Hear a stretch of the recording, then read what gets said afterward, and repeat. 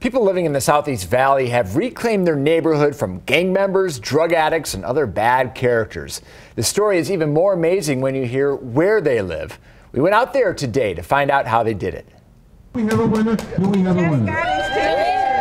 And when we got to Sportsman's Royal Manor, a by the week rental on Tropicana and Boulder Highway, we saw a lot of relaxed faces from the residents who live there, their children, the people who manage the complex, to the police and security who patrol it. Everyone seemed chill, which was the first sign of a turnaround. There was a lot of bad things happening as far as people getting hurt, a lot of domestic violence, um, a few shootings.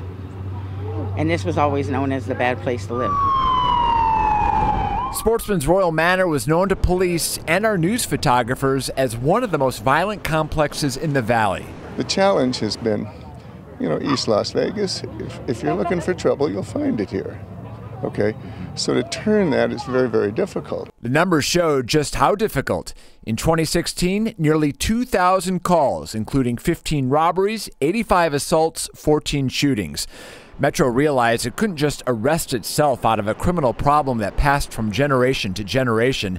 Officers needed to be a constant but not menacing presence. That might just be getting out and walking the complex, saying hello to kids, talking to a, a community member, or if they did see a crime occur, yes, take some action on that. At the same time, Sportsman's Royal Manors owner poured more than a million dollars into upgrades like landscaping, lighting, and fencing. And there was also divine intervention. A local church provided food and job resources.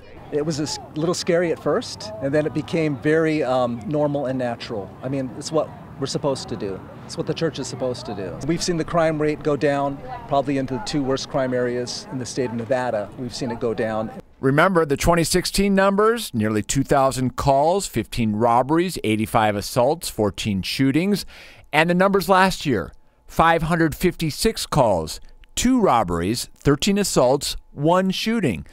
Charlene can now appreciate the things that many of us take for granted. Slowly but surely, it got very easy to walk the property and not worry about getting hurt. They just turned a problem complex into a community. And Metro called Sportsman's Royal Manor a phoenix zone, a community rising from the ashes of its past.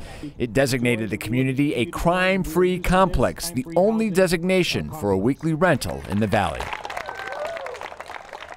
Metro says Sportsman's Royal Manor is now a case study in how to turn other violent complexes around. And they've identified two in the southeast where they'd like to apply what they've learned at Sportsman's.